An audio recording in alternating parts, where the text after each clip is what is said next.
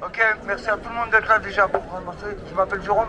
Je voudrais vous dire une chose, oubliez pas une seule chose, c'est qu'il y a tous les anciens qui se sont battus pour nous, pour nos libertés, et qu'il ne faut pas oublier qu'ils se sont battus, et il y a eu des morts pour ça. Et c'est à nous maintenant de continuer le combat pour les libertés de ceux qui arrivent maintenant. Nos enfants, nos petits-enfants. Merci à vous.